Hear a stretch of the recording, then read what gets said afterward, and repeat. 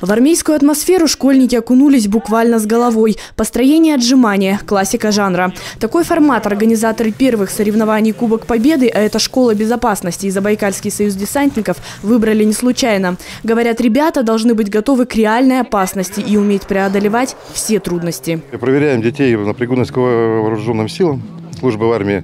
Ну и также проверить себя каждый как может. И посвященный нашим дедам, прадедам, которые воевали, свою войну, ну, время войны. На полосе разведчика ребята должны были доставить раненых товарищей из пункта А в пункт Б. По пути обезвреживали мины, тащили сослуживцев в гору, где уже ждал вооруженный часовой. Его необходимо обезвредить, а раненых спустить обратно с горы через импровизированную паутину. Все это в противогазах и в полном обмундировании. Сложно, но это как бы нравится. Привычно. Да, и привычно привычно уже. уже. Не как первый бы. год. Знаешь, на что идешь, но все равно идешь. Вроде страшно, вроде как-то сложно, но Надо. все равно идешь. И надо выступать за Пой- команду, да. не подвести Пойдем самое защищать главное. родину. В армию после 11 класса обязательно.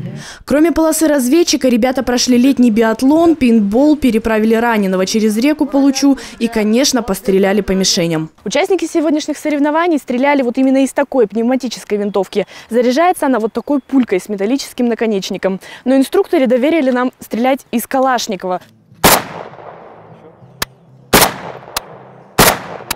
Усталые, но довольные участники прошли все испытания и показали себя настоящими бойцами. Победу одержала команда Забайкальского казачьего кадетского корпуса. Второе место у школы номер два. Ну а почетная бронза досталась Читинскому Суворовскому училищу. Полина Харченко, Владимир Дементьев. ЗАП ТВ.